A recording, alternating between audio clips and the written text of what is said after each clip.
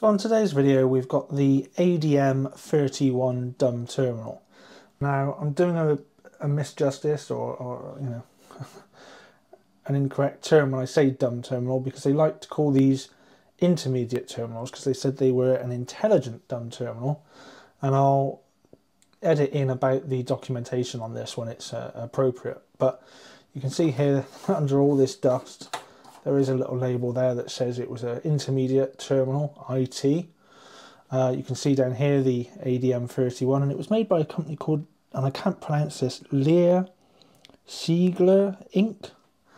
And this was a late 70s model. I think it was about 78 something like that. And uh, the same person that donated this to me was the person that donated the Pi Rambler TV, and they actually have similar tubes, uh, similar size tubes. And I just love the side profile of this. I just think this is so, so cool. Now, obviously it's covered in dust, it's disgusting. It wasn't particularly clean when I got it, uh, but sadly it's been sat in my uh, storage container, or storage unit, um, which is next to a car spray booth. And all the dust from that spray booth seems to go into my unit, and uh, everything just gets covered in that dust, unfortunately. So that's one of the reasons for that. Uh, what we'll do is I'll just spin it round and we'll have a quick look at the back before we look at the insides. Okay, so on the back we've got a few different ports here. We have, um, I believe, is that printer? Is that the printer port? Yep, so we've got the printer port here. We have the modem port, and then we have the extension port. So we've got three ports here. We've got a standard 3-pin UK plug on it, which actually is kind of amusing compared to some, some of the other things I've done because it's actually a later plug with the safety um, shrouds on the pins, which is quite nice. And you can see we've got a PAT test sticker here I'm just looking to see. Uh, is that 8 for the first 83? So potentially that was the last time it was used. so it's uh, it's not been tested in a little while. Um, we've got, like I say, the, the inlet for the power cable here. Nice rocker switch there. We've got a sticker down here which is saying uh, power on that way, off that way. Uh, two, what does that say, 230 volts, 50, 60 hertz, 5 amps or 0.5 amps, I'm not close enough to tell, uh, and about 80 watts there. And then what have we got here? Well, similar, yeah, it's saying similar things. Oh, 60 watts, is that? It's saying 60 watts on that one. I'll just bring that into shot, sorry. Um, and yeah, we've got serial number here, we've got the model, config number. And then on this side we have the um, dip switches for setting for the printer and the modem. And then I think the monitor is a kind of brightness adjustment, I believe. And then we've got the, the actual fuse down in here in a little carriage, which I assume comes out somehow. And uh, yeah, that's pretty much all there is to see on the back. Now the actual design is a clamshell design, and uh, this is missing screws somebody has been playing with this over the years so you just lift on the front and then it just pulls up like that and the back should just rest down. Now you may notice lots of loose things inside and we'll get to that in a moment. There we go. And let me move the camera so we've got a slightly better angle. Okay so hopefully you can see the board here. Um, there's a couple of little bodge wires here so it looks like some repairs have been done. There are some maybe EPROMs perhaps, something like that, and they've, they've had labels on them, so I wonder if the software has been redone at some point, something like that. There's a, a loose cable here, which I think is for the monitor, and we'll I'll show you that uh, now. So I'm assuming that this terminal isn't actually functioning, and I'm saying that because we can see that the power board here, which should actually be screwed in somewhere underneath the, the display, it's actually loose. So it looks like somebody's been doing some testing on it, mucking about with it. And I'm certainly not going to plug it in with it like this. Um, I want to safely discharge the tube just in case there is any voltage held in it. And I would like to take it out of the case, have a look at this power board properly, and um, see if we can get this working. Now, I do have the neck adapter for this tube for my CRT tester, and we will be testing it, and fingers crossed it's still a good tube. I'd like to actually see if I can get the two halves of the clamshell apart, because we're going to need to get it apart for cleaning. Now, obviously, like I say, this uh, ribbon cable here is disconnected, and it's, I believe it's, yeah, it's keyed. It's got a key in it. Um, so I'm not too worried about directional of that. But I don't suspect this side is as well keyed or, or what have you. So we'll just make a mental note that the cables go towards the back of the machine and um, we'll just pull that off and that's that removed. And actually there is a key within that and there's a missing pin. So that's nice. So it's directional. Um, when it comes to the actual clamshell, it, it looks like there's some sort of circlips, but I think they're rubber. Um, so if I try and, you know, you can see they're a bit mushy. And I'd like to try and get them off and save them if I can, but I don't know if that's going to be possible or not. Um, because they probably hardened somewhat over the years. Okay, there we go. And yeah, they look to be just um, very small little rubber washers um, or, or plasticky really. Um, so if I'm careful, they should be okay to go back on. Um, we'll see how we go. So I'll just try and do the other one.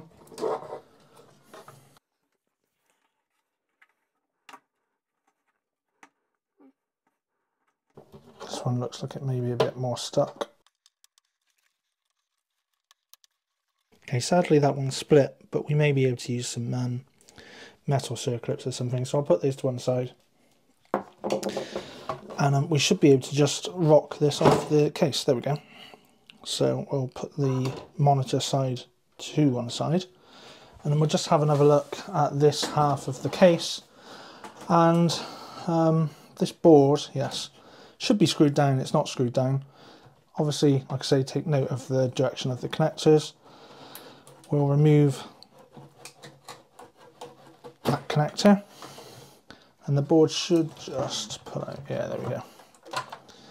So let's see what we've got underneath.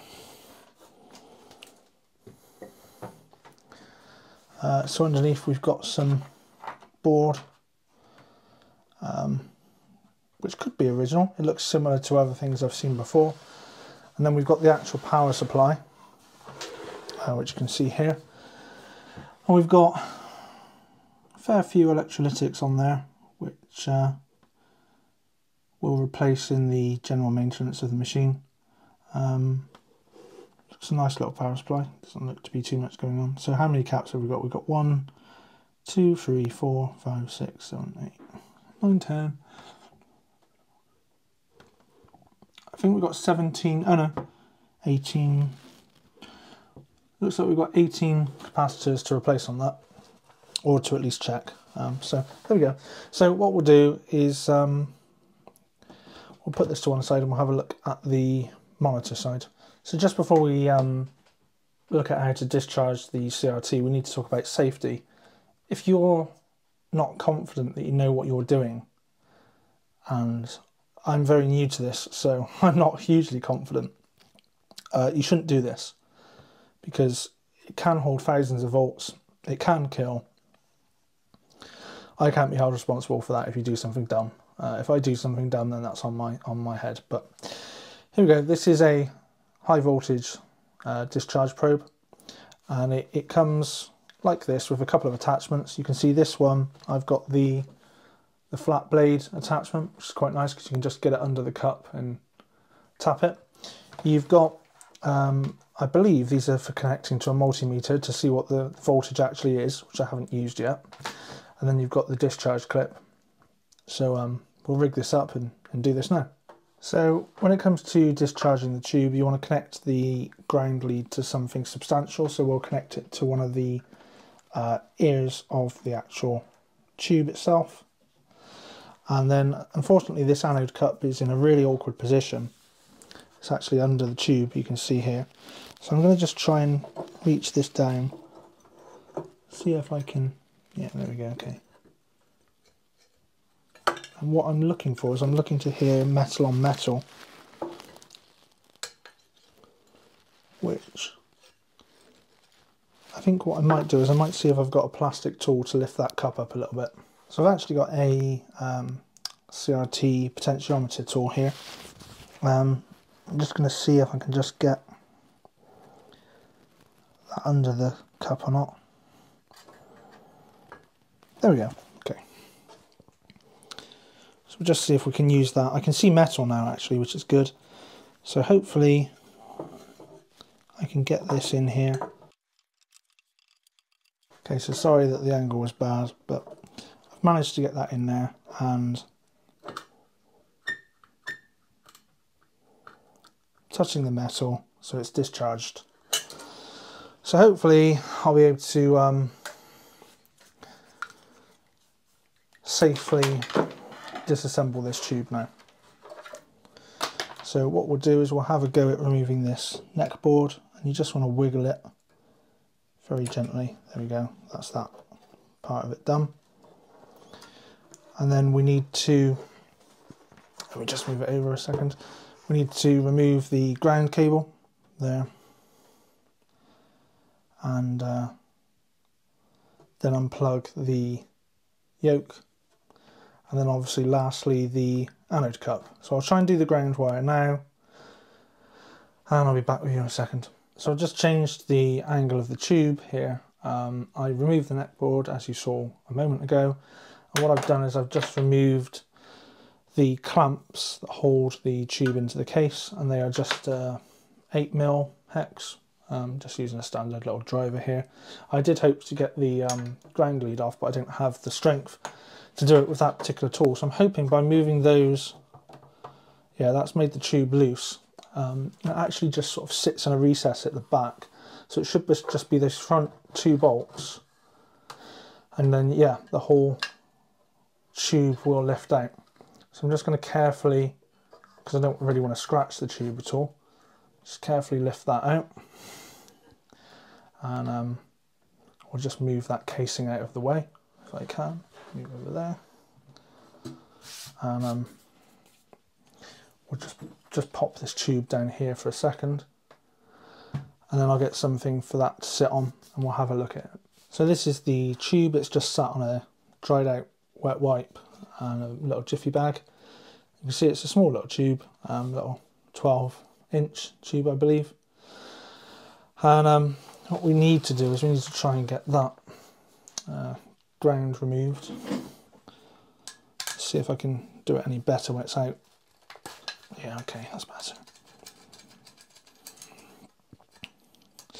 Oh, that's nice. It's not a complete ring terminal. It's um, a U little sort of spade there. So that's nice. We'll just have a look. So there we go. So we've got better access to the anode cup now. And what I might do is I might just have another go at um, discharging that before I pull that out. Um, as I said, we need to disconnect the yoke. it looks like, um, just move those wires out of the way it looks like we've got a couple of connectors on it on the board itself.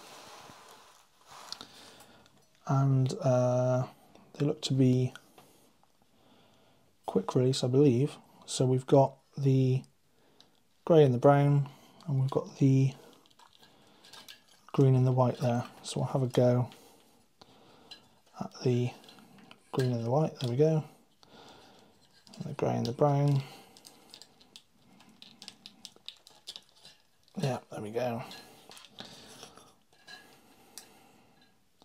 So it's just the anode cup to unplug. Like I say, I'll just uh, bring this discharge uh, tool in once more so I can give you a better angle of what I was doing. So what I was trying to do is um, connect the ground to the casing like that and then get the actual tool and you, you don't want to use two hands, of course, you want to just use one and get it under the cup and get it to touch the metal. Now I'm just going to steady it.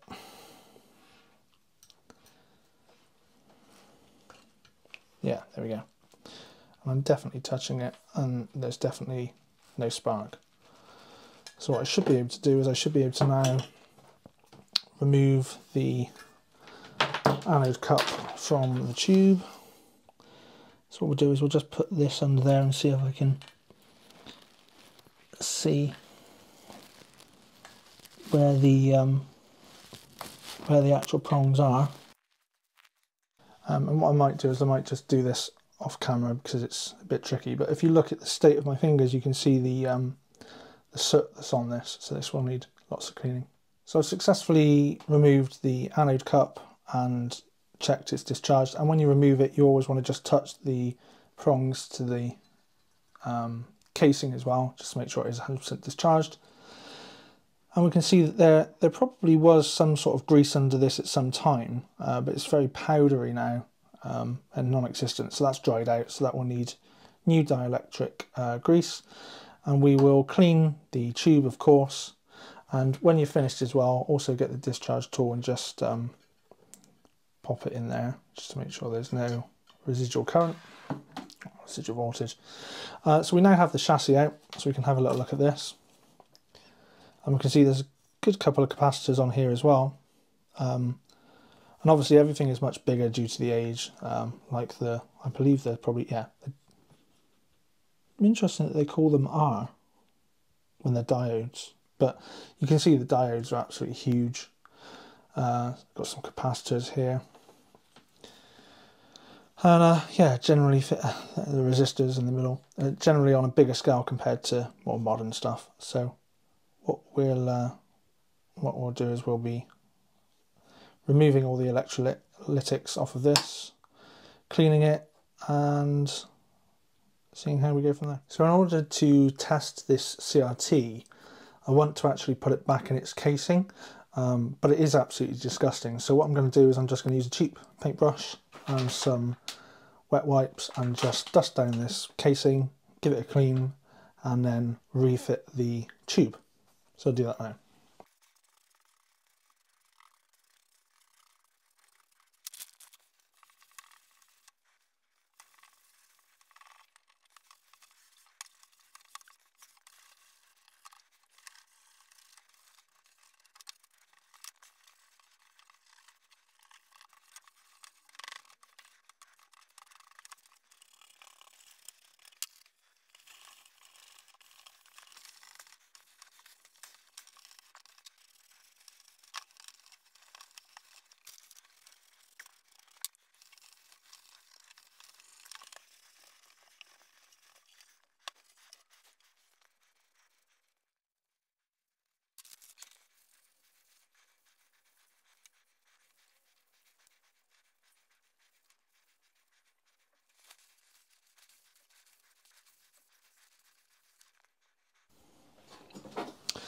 That's just a first pass on the uh, CRT there and it looks a lot cleaner than it was and it's got a nice sort of dull sheen to it so I imagine it's got some sort of anti-reflective properties in it which is quite nice.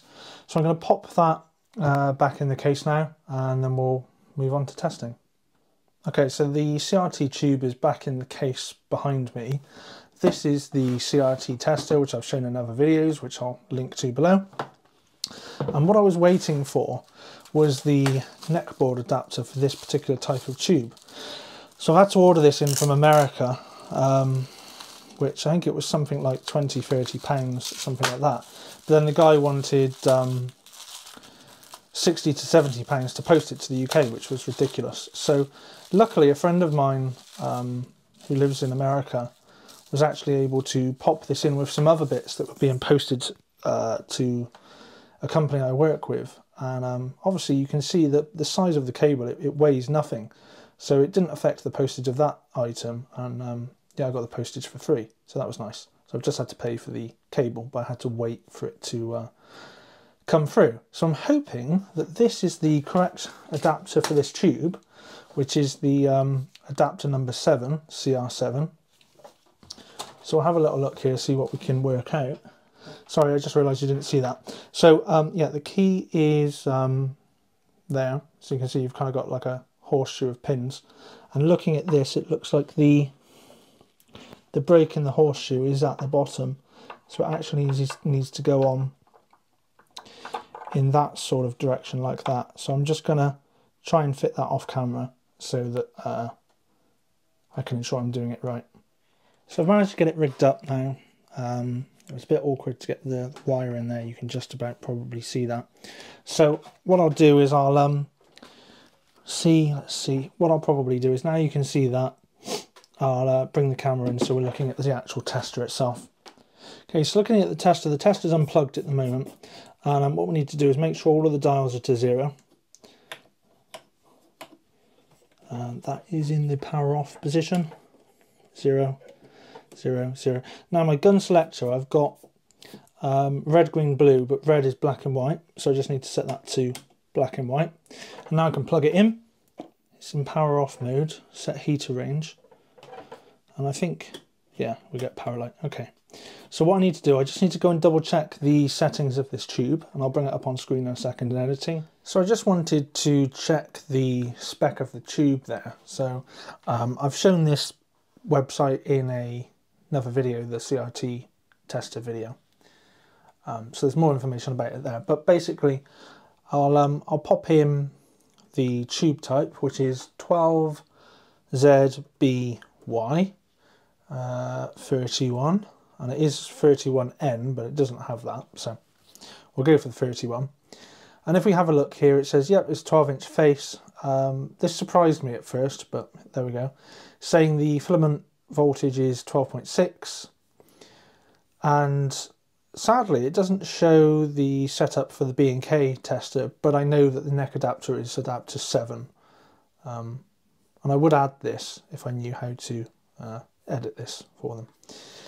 Now, the interesting thing is, is, um, yeah, here we go. I found this document um, which chats about another terminal, I think, and it shows the three different Samsung screens you could get. You can get the 12ZBY31, which is what I've got, which is a green phosphor, BY4, which is a white phosphor, and amber, which is an amber phosphor. Um, so the interesting thing is, is this site shows the same screens and you can see here the filament voltages and you've got 12.6, 6.3 for the white and uh, 12 for the amber. So it's interesting that you need a different filament voltage for the different phosphor screens. I found that a bit strange, but there we go.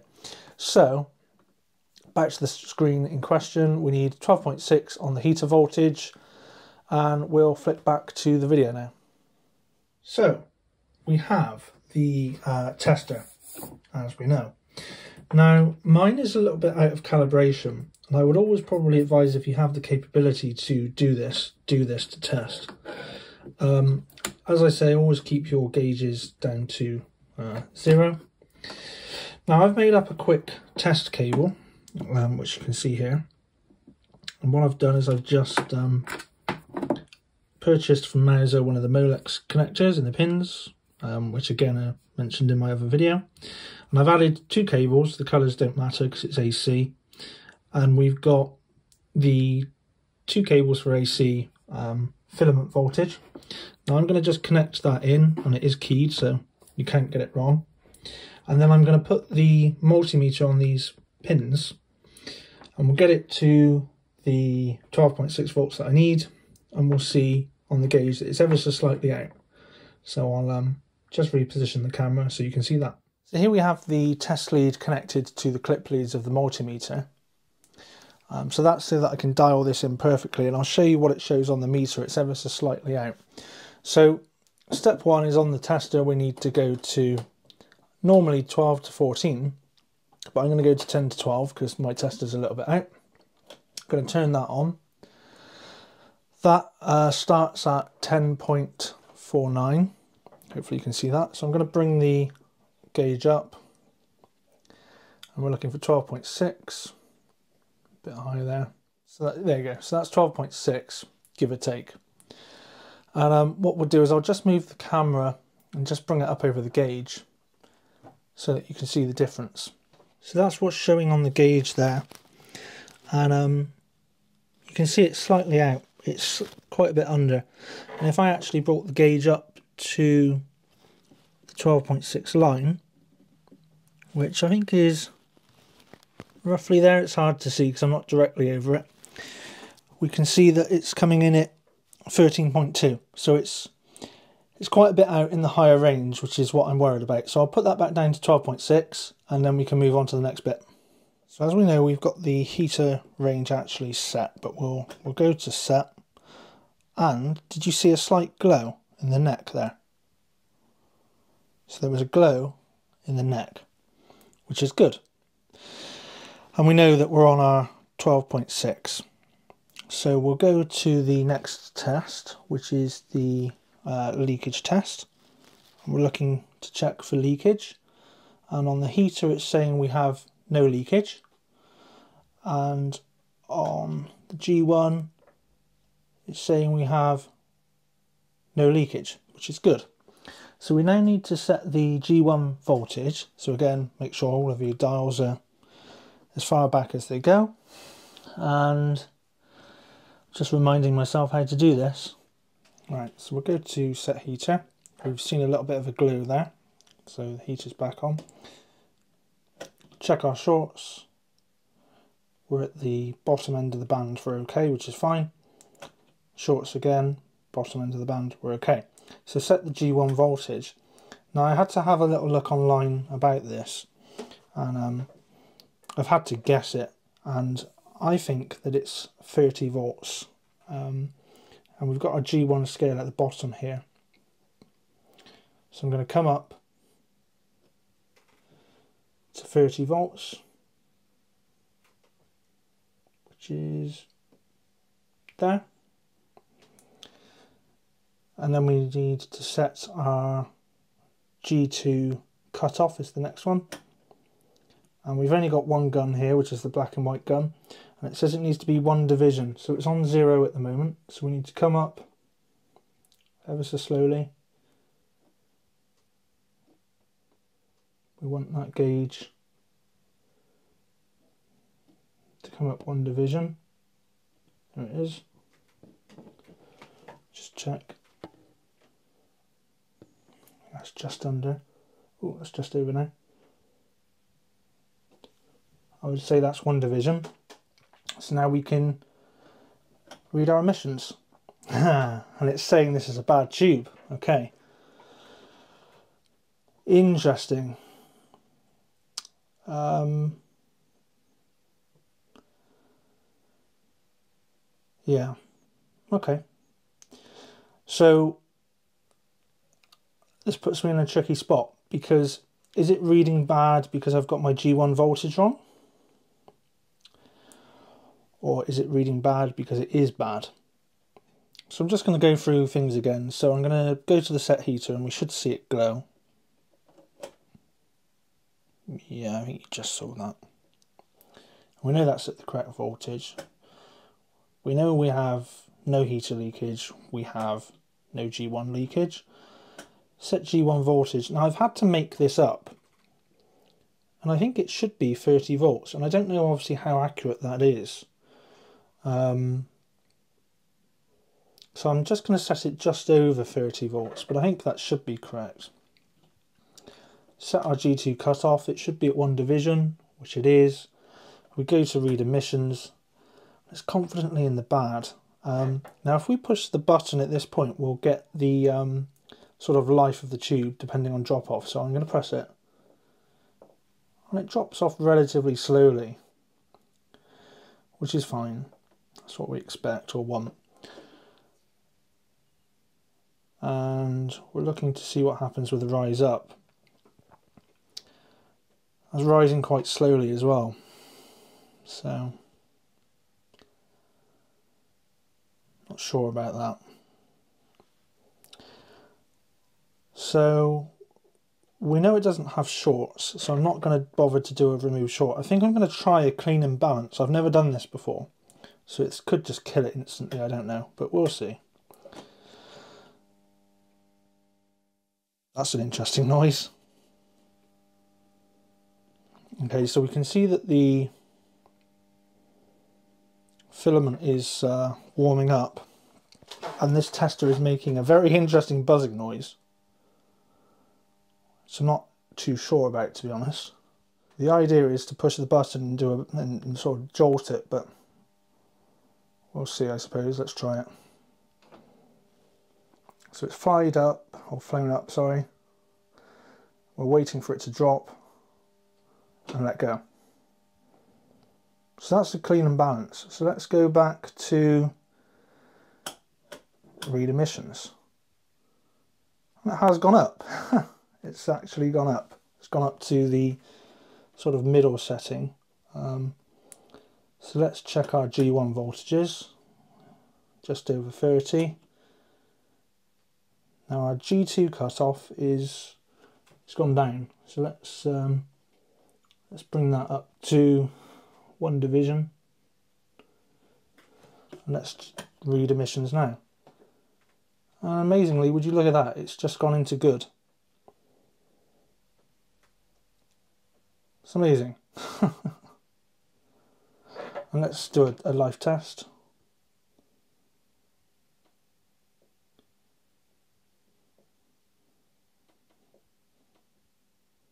Yeah, it drops slower. Do a recover. It's just creeping into the good. So potentially I'll do another clean and balance. And I can see some filament glow.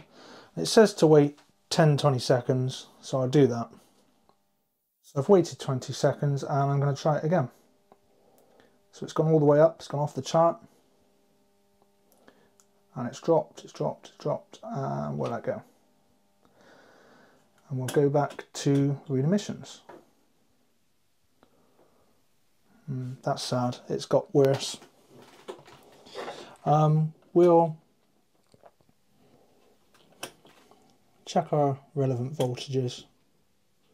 We're at one division.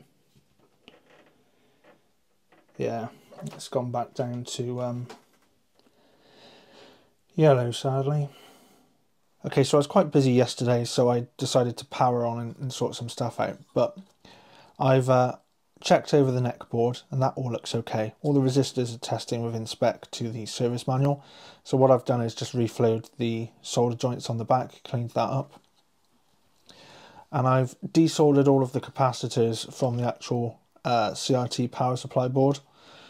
And they look to have all leaked marginally, uh, but they mostly look to be in spec, but we'll get to that when we get to that. So whilst I'm sense checking through things, I've checked the diodes, all of the diodes look good.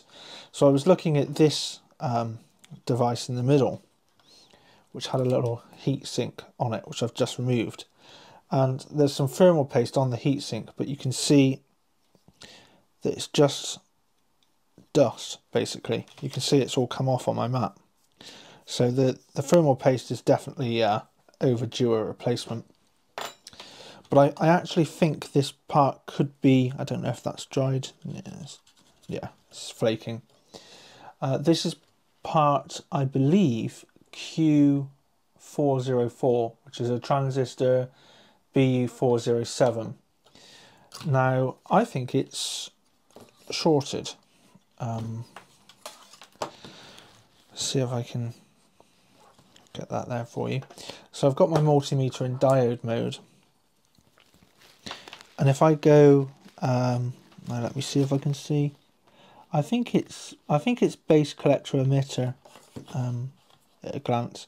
So if I go base to collector in one direction, out of limits, which is correct, then in the other direction, I'm getting a voltage drop of 445, which looks fine. And then if I do um, emitter to collector, um, 444, and then the other direction is out of limits, which is good. But then if I do um, base to emitter. I think it was shorting. I've got my leads all twisted up, so let me just undo that.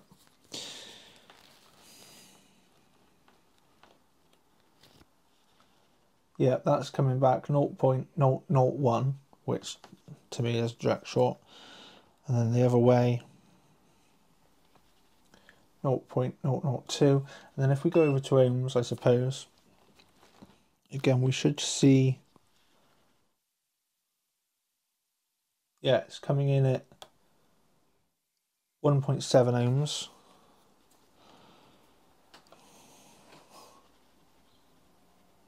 And you would imagine the same 1.7 ohms. So I think that's um, I think that's shorted. So I'm going to desolder it and um, see what it tests like out of circuit. And that could be uh, one of the reasons that this board was loose. Obviously somebody was testing it and trying to work out what was wrong with it. Um, one of the capacitors has actually uh, flagged as being out of spec, um, but I suspect that was probably the the bigger issue. So get that desoldered and see what we find. So I've been through this board now. As I say, I've reflowed the neck board. I've cleaned the high voltage wire, so it's nice and clean now. I've uh, used a anti-back wipe on the anode cup and then gone over it with alcohol. And you can see there that's, that's uh, nice and clean now. So that's all ready to go back on. The rubber still feels um, relatively flexible, so I'm happy with that. I think that's all okay. There's no fraying or anything like that, so that looks good. Um, the actual board itself, that component there, when I tested it out of circuit, it tested good. And I found out in the end that, see this resistor uh, here, when you look at it on the other side, what it's doing is it's connecting, uh, I believe this is what they call an inductor it's connecting the inductor to both sides of it, so it reads like it's a direct short. And I was reading, uh, sorry, I was watching videos earlier about this, and if I had a standalone ESR meter, I think I would be able to prove that it isn't shorting uh, if I put a high frequency thing through it, because that won't relate to it. But basically, it's the inductor that's uh, that's causing that sort of false positive on the short. So that part tested perfectly fine out of circuit. So I've put some fresh thermal paste in there, screwed it back down, put the heatsink back on, so that's fine. Um, like I said, I took that resistor out just to check that, that's fine. The potentiometers on the board, I suspect, probably haven't moved in quite some time. So I've used uh, Deoxit, let me just get that can out. Used um, some Deoxit fader lubricant there. And I like to use that on um, all potentiometers where possible. So I squirted a bit in and I've uh, spanned them around and then moved them to approximately where they were. So hopefully if it does power up at all, uh, it should still do something and then I could tweak them if need be. Um, yeah, I'm quite impressed. I think generally the board looks fine. I've checked all the diodes. The diodes are testing perfectly fine. So I think I'm done with that until I can get the replacement uh, capacitors. So the next thing is the actual power supply for the computer. And this is uh, what that looks like. Now you can see here you've got an inspection, quality assurance, quality assessment, whatever, inspection, 19, well, 83, just on the bottom there. So, yeah, it looks like, I guess it was made and produced around 83 and used around 83 and then maybe not used again. But then technology was moving so fast back then, uh, perhaps it wasn't in, in service long. So obviously there's lots of capacitors on this board. What have we got? We've got uh, one, two, three, four, 17, I think, maybe 17 electrolytics. And it looks like we've got a little tantalum just there. So I will check that and see if I can get a picture of what that is before we plug it in because apparently tantalums can just blow uh, really quite aggressively. So I may see if I can find out what that is and get some spares on hand. Um, but yeah, the rest of the caps look to be film caps. At this stage, I'm not seeing any leaking, but I suspect there is leaking.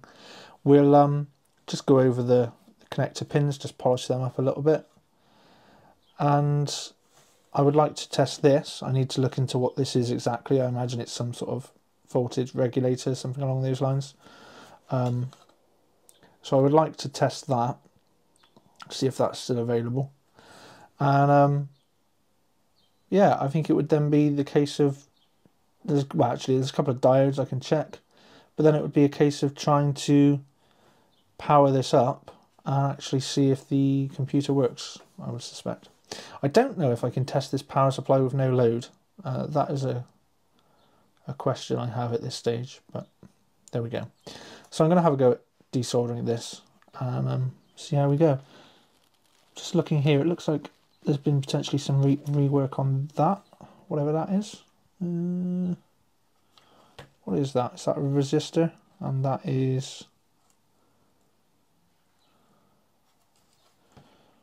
Yeah, it looks like potentially that, that resistor might have been replaced at some point. I don't know why. Um, you can see there's a little bit of flux residue there. But other than that, the board looks to be completely original. And it actually looks to be in really good condition. It doesn't look like it's got hot. So I wonder if this maybe hasn't seen much use. I mean, obviously it's very dirty, but I'm partly to blame for that. Um, although the CRT is quite dead, so don't know on that. Don't know.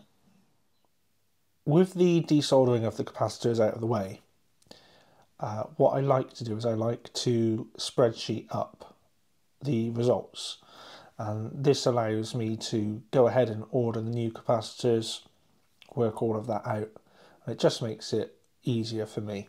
So I have this sort of template I came up with here.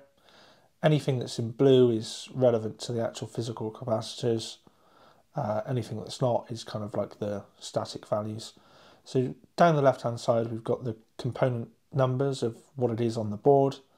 Then we've got the uh, values which I've taken off of the side of the capacitors. So you don't necessarily always need a service manual as long as nobody's fiddled with it. You could um, look at the capacitors that are already there for most of the information. Then like I say we have the values and then on the very end there we have some Mouser links and that's what I've ordered as a replacement. Now I'm not going to cover uh, everything here in, in, depth because I've covered it many times in other videos so I'll show you that in a bit but anyway um, I think it's going to be just off screen here, but this is the CRT driver board. This tab is the power supply board. And you can see there's a lot more capacitors on that in the end. Um, I've got a little formula here, which you can see at the top of the screen, and that's saying if the value is in or out of tolerance. You can see most of the 1 microfarads are all out of tolerance, but some of the larger ones, this 22 here, actually came in at 27, so it's slightly out of tolerance there. But, you know, I think it would have probably been okay, but they were leaking and uh, slightly out of tolerance. Now, the interesting thing is the things like the Vloss here. You can see that's quite high. Um, and then if there's any high ESRs like that one, but that one's flagged as failed. So I like to um, order from Mouser and what I've done is I've created some projects for this and that just means if for some weird reason I needed to order this again I could just go um, order this project uh, the order button there.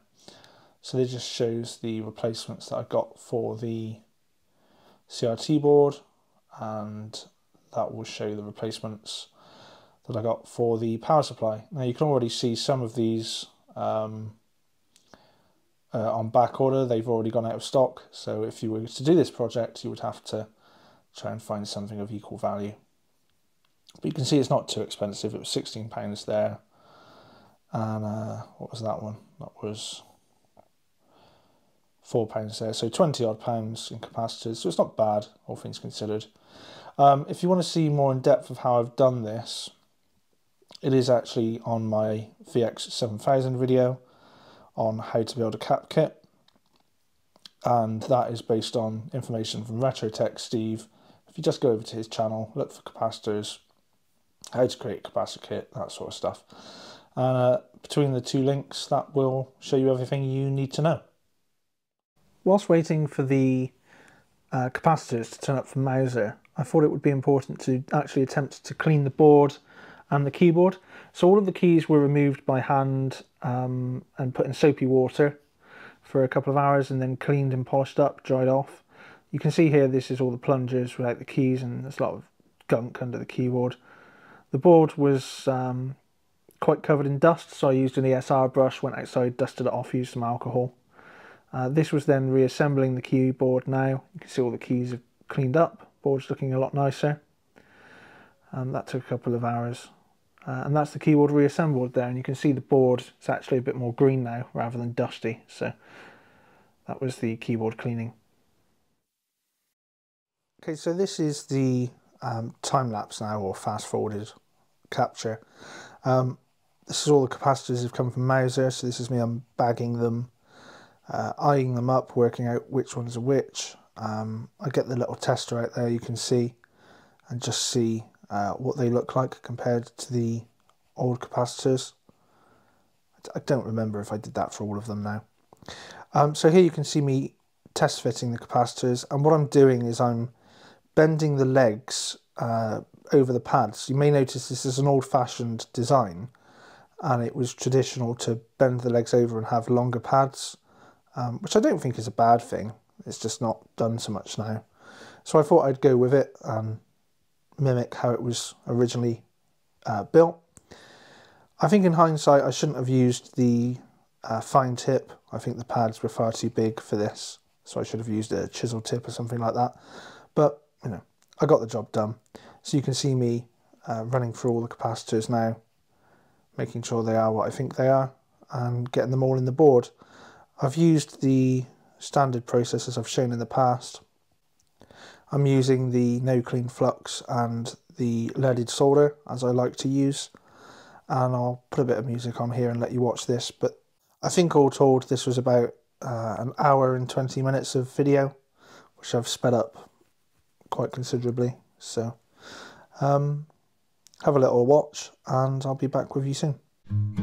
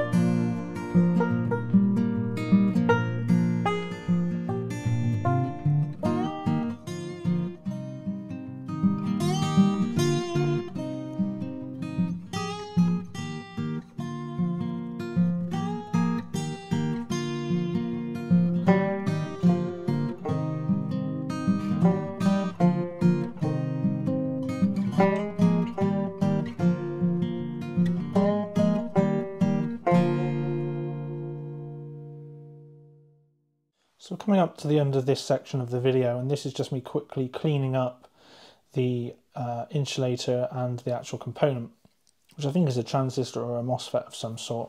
Seems to be a Motorola SJ7608. And um, I'm going to talk about this a bit more in a second, and I did find some interesting web links that I'll put in the description.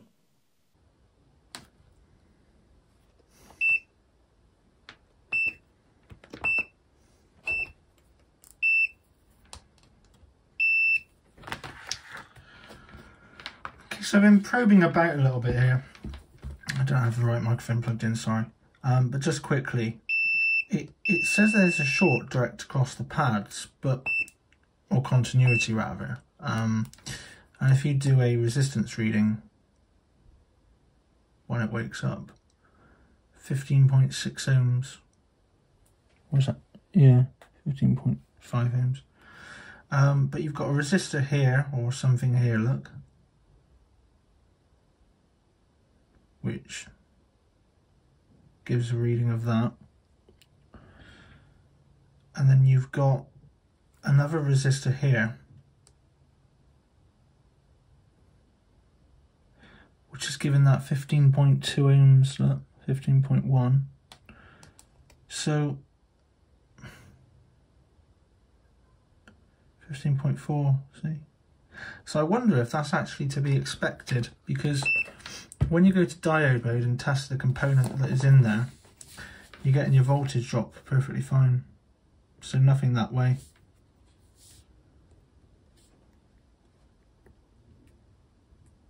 Hmm, come on. It's not on diode mode, is it?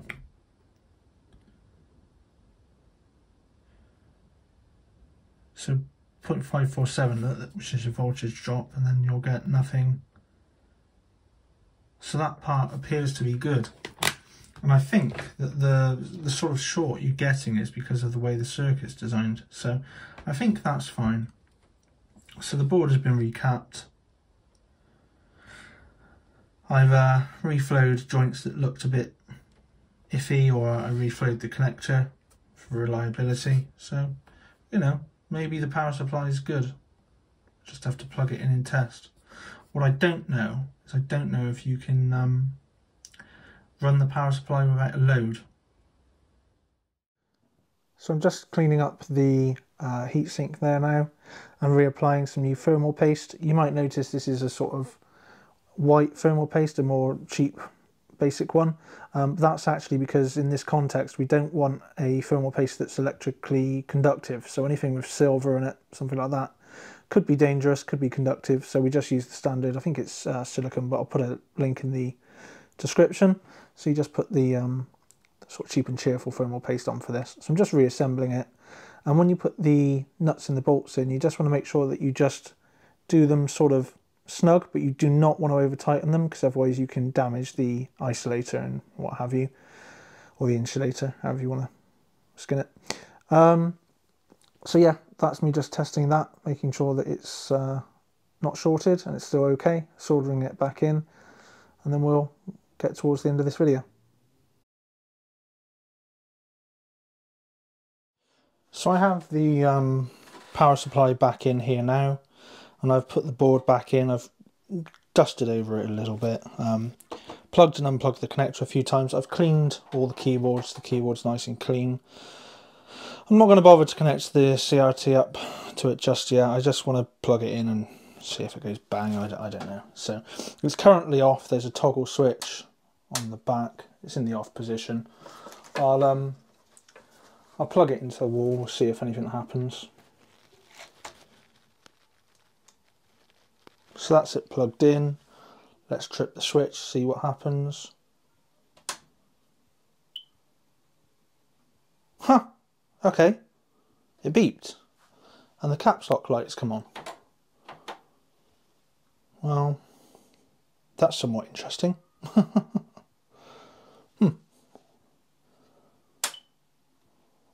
It beeps off. It beeps on.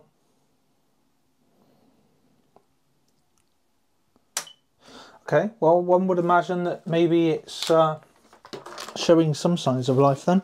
So the step next I would suggest would be to try and get my multimeter in the prongs. I'll have to look at what the pin out of this is and see if we're getting all the right voltages. So um, let me see if I can work that out and uh, go from there.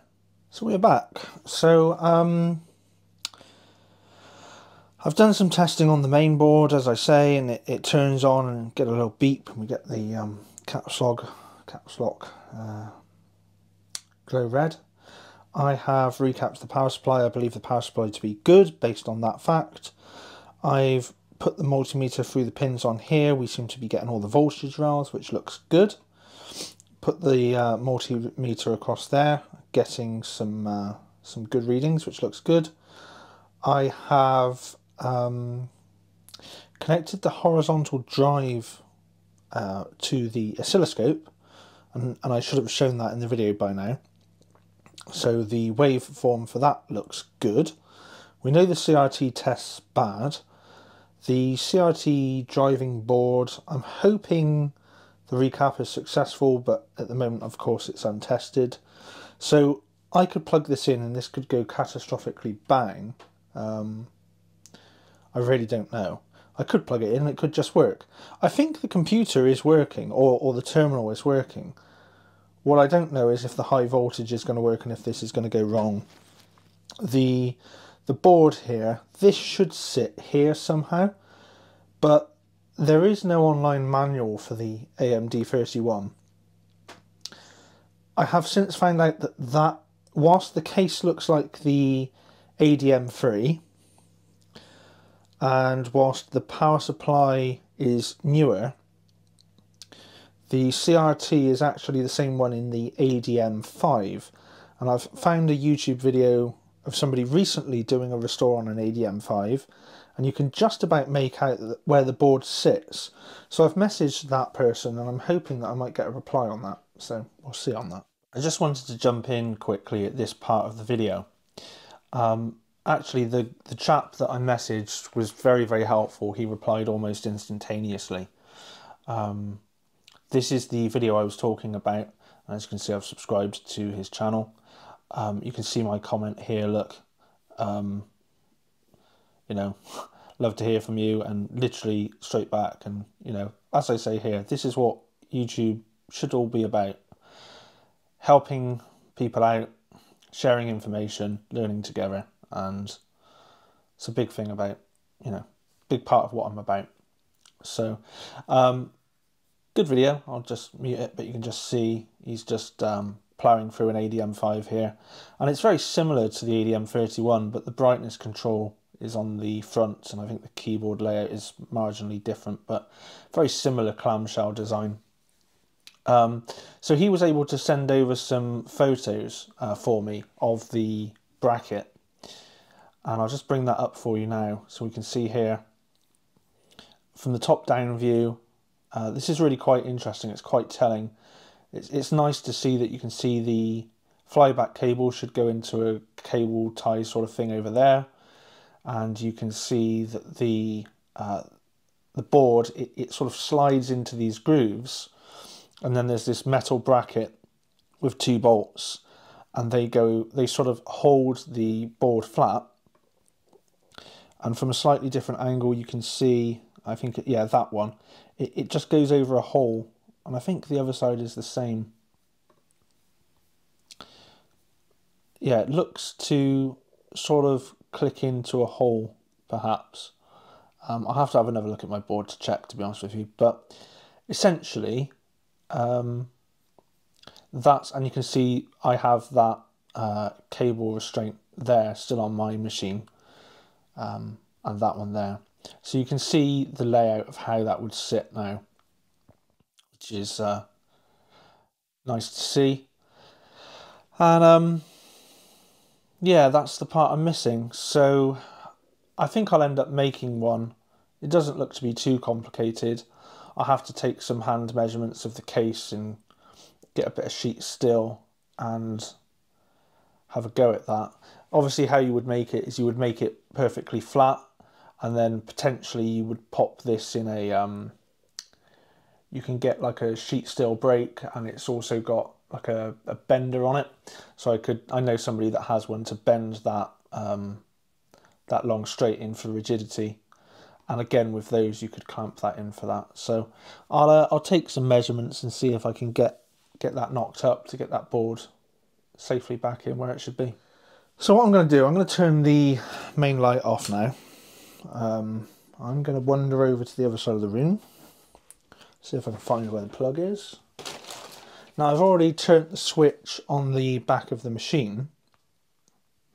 So when I plug this in, it's literally going to try and power up. So what I'm hoping is, uh, let me just check the camera. Yeah, what I'm hoping is, is we might see some um, neck glow or if we see any sparks or, or whatever, I don't know. But we'll uh, we'll see how this goes. Um, I'm really dreading this, but here we go. Three, two, one. It beeped, but the CRT didn't do anything. Or did it? Oh, there is the slightest neck glow.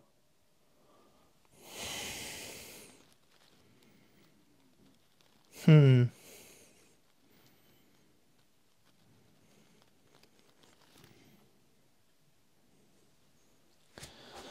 I don't know if the camera's picking that up. Well, it might be. Let me let me move you.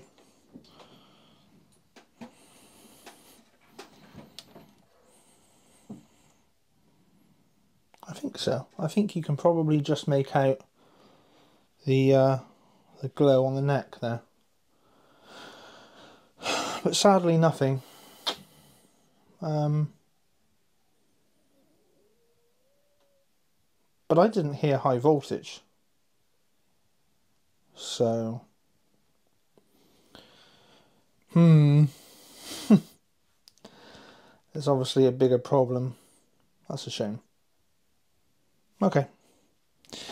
I will um, I will just unplug it.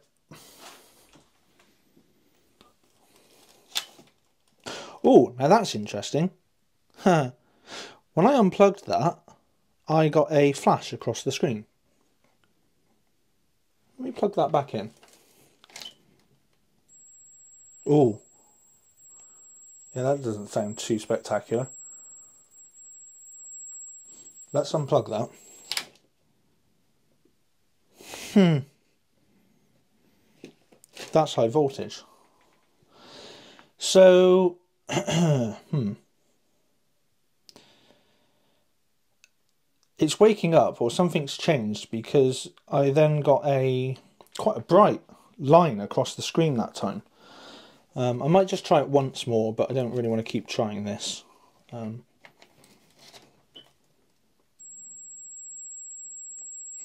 that really doesn't sound ideal.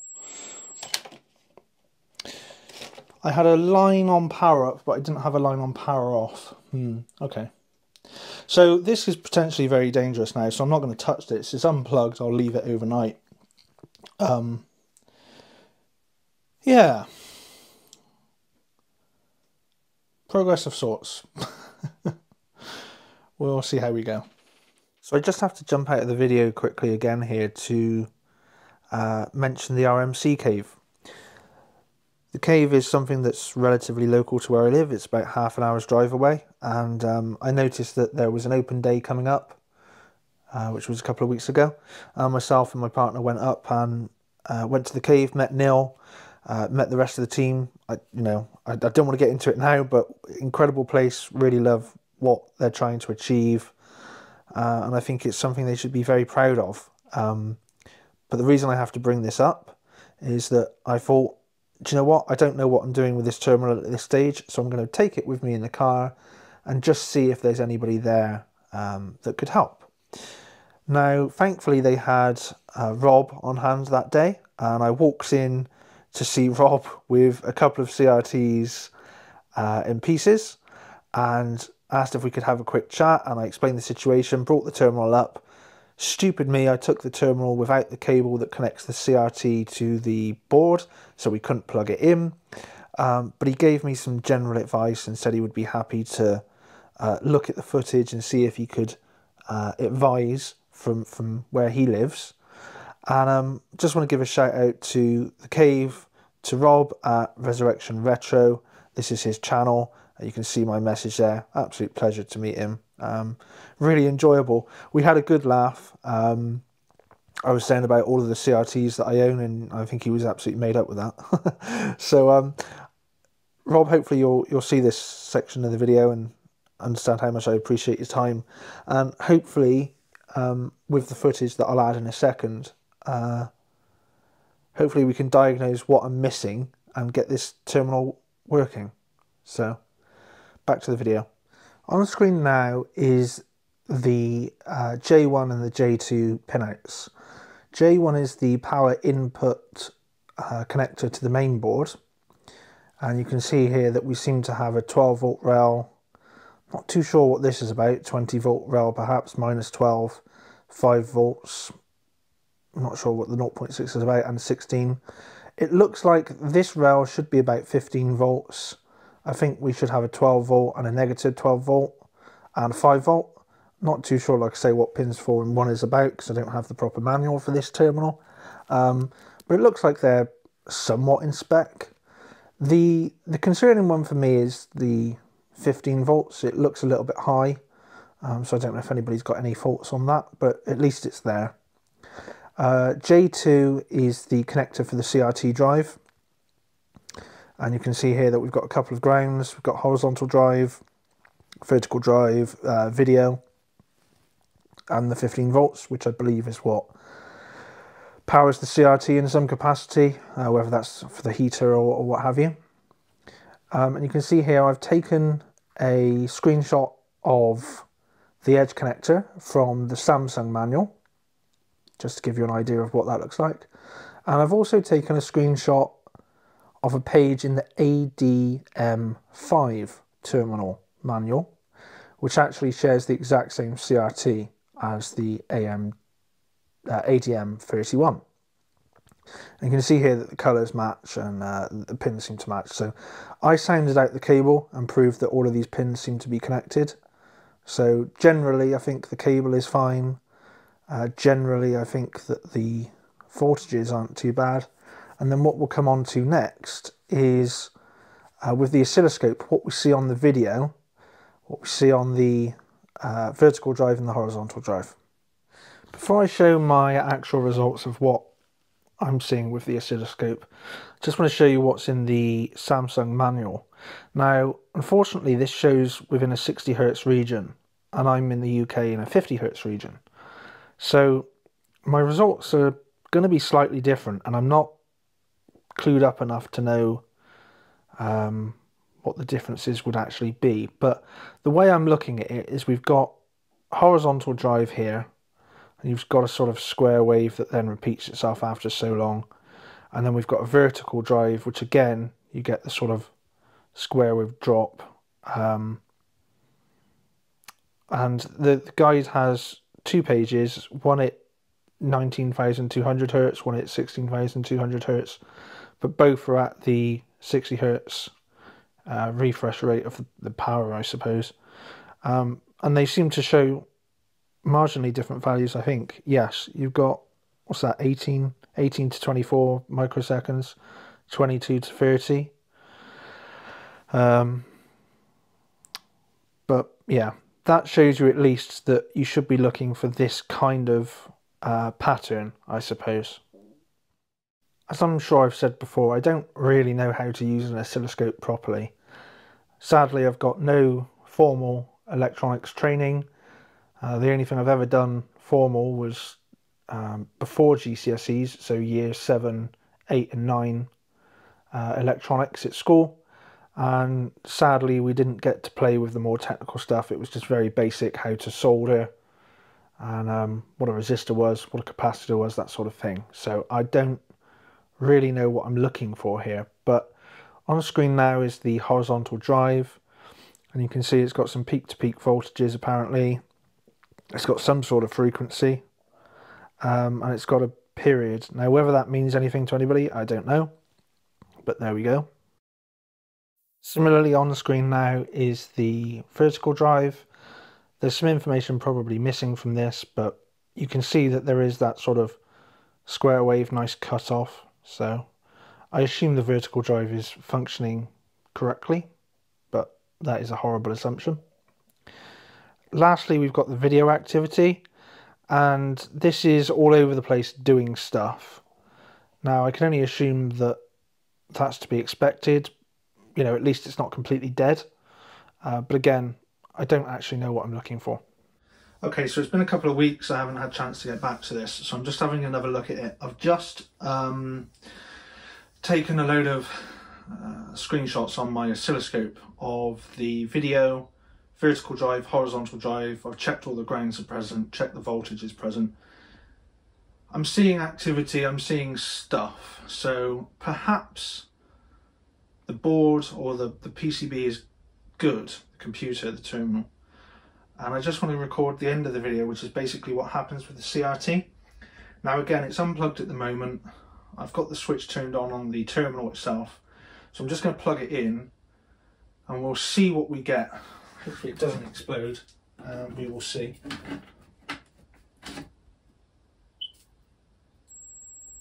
There's that horrible noise again. I'm getting static on the tube. So that must be high voltage.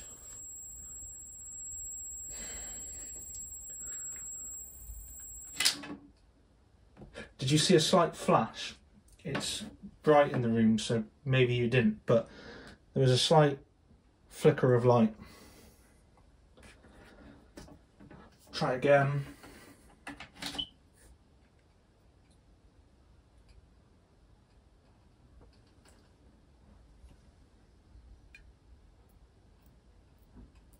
Still a bit of static, so I don't know if that's now trying to display a picture. It could just be on um, really dim brightness, but that noise that's now not there.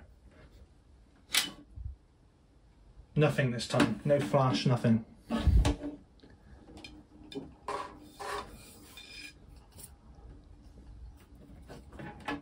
Try it again. Oh. Huh. Anybody see the little flash go up the screen? Okay. I'm to leave it there because I don't know what I'm doing. So, fingers crossed somebody can tell me what I'm missing. Thanks for viewing and please give me comments. Let me know what you think.